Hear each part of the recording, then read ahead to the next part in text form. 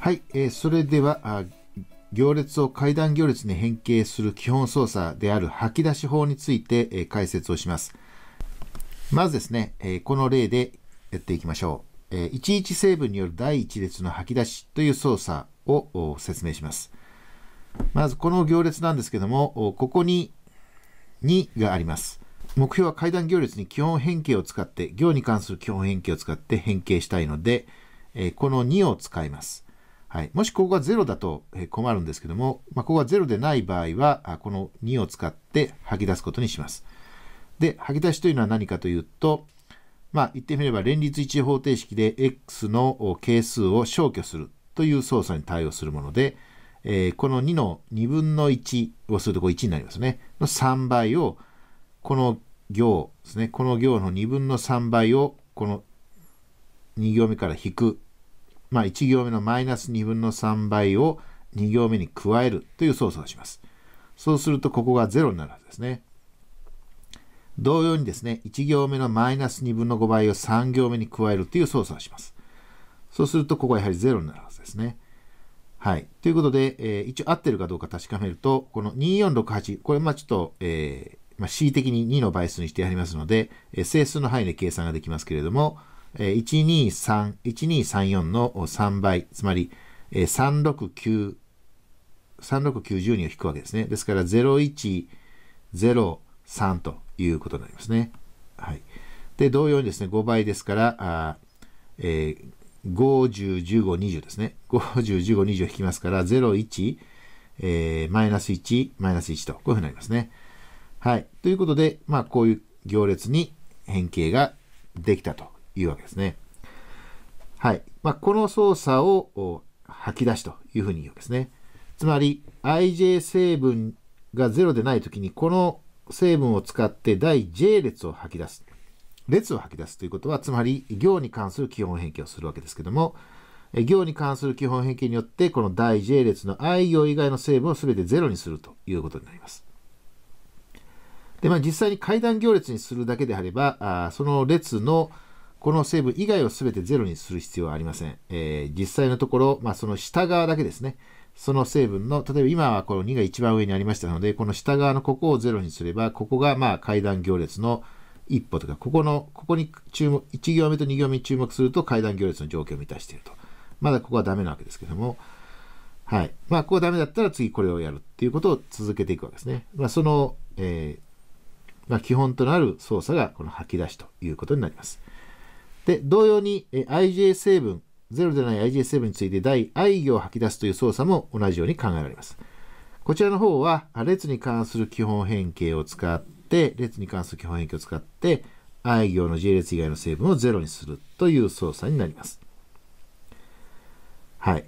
で、ここで注意してほしいのは、ある行や列の、ある行や列のマイナス1倍はそれ自身に加える操作は基本変形ではないので、えー、注意してください。つまり、えー時々見かけられるのが、この2468を使って、この1行目自身にこれを加えて、ここを全部ゼロにしてしまうと。そうすると、これはあの同値な変形、元に戻せない変形になってるね。失われてしまうわけですね、情報がね。ということなので、これではあの困りますので、えー、そういうことはできないということは一応確認しておいてください。えっと、まあ、連立一方程式解くときにそういうことをしなくてもですね、行列になるとなぜかこのえー、1行目のマイナス1倍1行目に加えるという操作をやってしまう人が、えー、時々いますので、えー、それ注意してください。はい。ではちょっと例題をやってみましょう。ではですね、この行列に関して、え、いろんなあの吐き出しをやってその結果がこうなるっていう説明がありますので、え、それが正しいかどうか、あその吐き出しの操作とその結果としてが、結果が正しいかどうかを、え、ちょっと確認してみてください。はい。それではどうぞ考えてみてください。はい。それでは、えっ、と、ここでちょっとクイズをやってみましょう。えこの行列について、えー、吐き出しの結果として正しいものですね。いろんな、まあ、吐き出し、吐き出しの説明とその結果という組み合わせになっていますので、この組み合わせが正しいものを選んでください。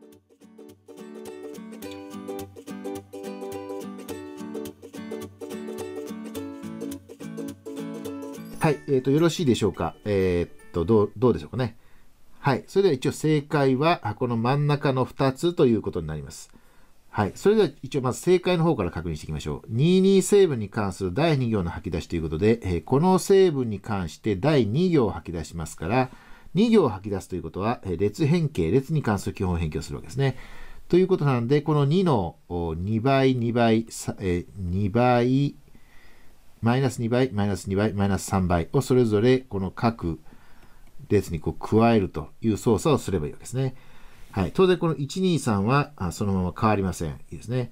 で、123の2倍を1列目から引きます。マイナス2倍を1列目に加えると、246を引きますから、ここはマイナス5ということになります。それから3列目は246を引きますから、マイナス101ということになります。で、最後の3 4列目は3倍を引きますから、369を引いて、ここは00マイナス6ということになります。で、確かにこの2、えー、この2行ですね。2行がこの22成分以外は全て0になっているということがわかります。はい。それから、今度はこれですね。えっと、24成分に関する第4列の吐き出しですから、えー、24成分、これですね。この成分を使って、えー、第4列を吐き出しましょうというわけですから、これの、まあ、2分の1倍、マイナス2分の1倍を1行目と3行目に加えればいいわけですね。ということで、当然2行目はそのまま残ります。ですね。2行目はそのまま残ります。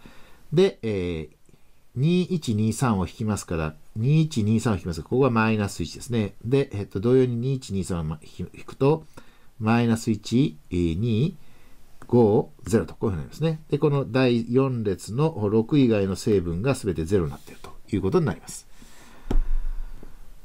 はい。では、間違いをこれですね、を確認しておくと、1、2成分に関する第2列の吐き出しなんですけども、1、2成分っていうのは、あここですね、この成分を使って第2列を吐き出せと言ってるわけですけども、なぜかここが0になっちゃってますね。これおかしいんですね。これはあの、勢い余って、ここもなんか、他の行は無事なんですけども、あの、このこの1、2成分も0になっちゃってますね。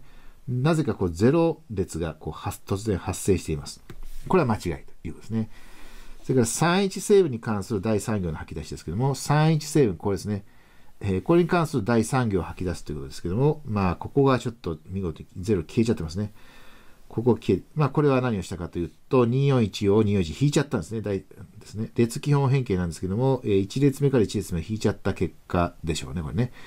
はい。それ以外のところは、例えば60に3を引きますから、これ合ってる感じですね。14、28を引きますから、これも合ってるんですね。まあ、多分ここ、ここのところは合ってるんですけど、ここが、えー、勢い余って、えー、自分自身も消してしまったということになります。したがって、えー、この4つ目は間違いということになるわけですね。